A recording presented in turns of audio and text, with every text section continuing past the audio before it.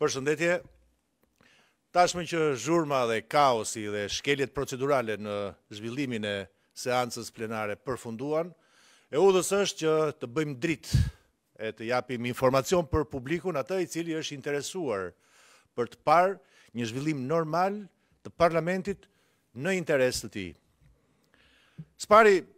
do duhet të them për faktin që sot seanca u zhvillua edhe në shkelje të rregullave të procedurës, teksa nuk ishte as kuorumi i zhvillimit normal dhe të vlefshëm të zhvillimit të procedurës parlamentare. Së dyti, u bë e ditur për publikun që interesi i vetëm i mazhorancës sot ishte të kalonte mes zhurmës, kaosit, ligjet për oligarkët, ligjet për interesat e tyre klienteliste, siç ishte shtyrja e afatit për ligjin për investitorët strategjikë. Megjithatë sot, publiku, shqiptarët donin të shifnin diskutimin e çështjeve të rëndësishme dhe në interes të tyre. E një prej tyre në fakt është edhe ligji i amnistisë. Një ligj i debatuar prej shumë kohësh, një ligj sipas të cilit interesi i atyre të cilët përfitojnë është i madh, sot në seancën plenare ku shumë njerëz publiku shqiptar ishin të interesuar të dinin nëse ishte ligji në rendin e ditës, nëse do të votohej e të miratohej, Për çudi ndodhi që nga ana e maxhorancës, nga ana e kryetares së Kuvendit, ky ligj nuk ishte në rend të ditës. Kjo tregon në fakt edhe interesin e sinqertë nëse e kanë të maxhorancës për diskutimin dhe miratimin e një projektligji të tillë. Unë do duhet të bëj me dije publikut shqiptar dhe gjithë atyre që janë të interesuar qëndrimin dhe pozicionin e Partisë Demokratike, siç ka qenë në vijimësi, si në Komision të Ligjeve, edhe në deklarata të tjera publike. Partia Demokratike është e vendosur dhe i qëndron pozicionit të saj që ligji i amnistisë do duhet të miratohet.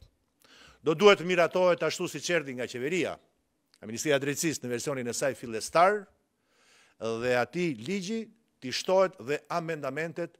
me anë të cilit përfitojnë edhe protestuesit për atë periudhë kohore, sipas së cilës ne kemi paraqitur në parlament.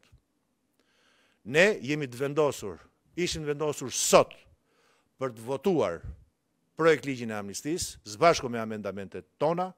jemi të vendosur që edhe në seancën e radhës, sa më shpejt aq më mirë, u bë kaq kohë që ky projektligj diskutohet, u bë kaq kohë që shumë persona të cilët përfitojnë e presin që të marrim pjesë e të votojmë në projektligjin e amnistisë. Sigurisht duke qartësuar sot, siç e kemi qartësuar edhe më parë, që Partia Demokratike do të votojë një projektligj të amnistisë sipas versionit fillestar të ardhur nga qeveria, sipas të cilit nuk përfitonte askush nga ata të cilët janë nën ndjekje penale apo janë dënuar nga Gjykata kundër Krimit, Korrupsionit në Shqipëri apo janë nën ndjekje penale nga SPAK-u. Ky është një qëndrim koherent yni për t'i dhënë mbështetje drejtësisë së re, për të përfituar ajo pjesë e shoqërisë e dënuar ndoshta në mënyrë të padrejtë, për të, pse jo, për të lehtësuar edhe mbipopullimin në burgje dhe nga ana tjetër edhe për t'i dhënë drejtësi dhe për t'i hequr nga zgjedha e persekutimit policor të gjithë protestuesve shqiptarë, ata të thirrur nga Partia Demokratike e aleatët e vet, apo dhe nga protestat e zhvilluara në mënyrë spontane apo nga shoqëria civile. Ky është qëndrimi që kemi mbajtur, mbajmë sot e do ta mbajmë edhe në vazhdim. Ndaj, thirrja ime është kjo, për maxhorancën dhe për këdo deputet, që projektligji i amnistisë të vendoset sa më parë në rendin e ditës, në seancën e radhës të Parlamentit, në këtë formë siç e prezantoi Qeveria, me këtë amendament të paraqitur nga ana jonë, pa asnjë amendament tjetër i cili cënon produktin e SPAK-ut dhe të Gjykatës kundër Krimit dhe Korrupsionit. Ndaj, thirrja ime është për të gjithë ata dhe në favor të të gjitha atyre pjesë të publikut shqiptar që e presin dhe e presin këtë projektligj. Ndaj, pres, nga kryetarja e Kuvendit, nga maxhoranca, nga përfaqësuesit e qeverisë, që të shqiptojnë publikisht e më pas ta formalizojnë në procedurën parlamentare futjen në rendin e ditës,